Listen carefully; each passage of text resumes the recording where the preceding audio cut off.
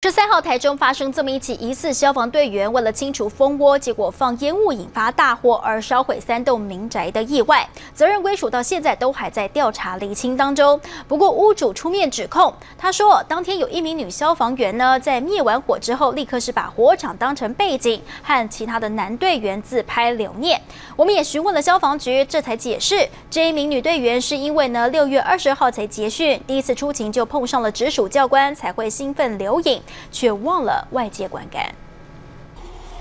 铁皮屋火才刚扑灭，女消防员消防衣都还没脱，就从口袋拿出手机，三步并两步靠到男消防员旁，咔嚓咔嚓开始自拍。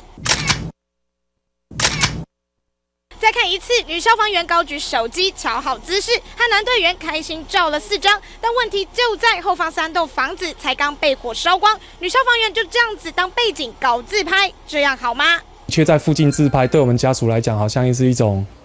一种思思想上或是行为上的霸凌。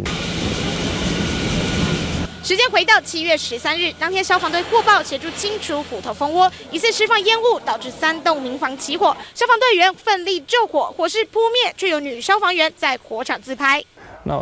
我不知道说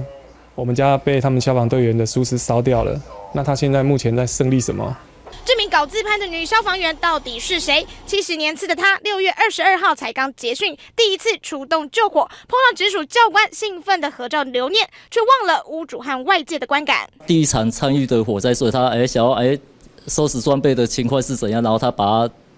拍起来。消防局解释，早上接近十点出动灭火，而自拍时间是火势扑灭后的十一点四十几分。男女消防队员自拍不至于影响勤务，但在火场拿手机自拍，难免让受害的屋主很不高兴。遵水连员兵张军栋台中采访报道。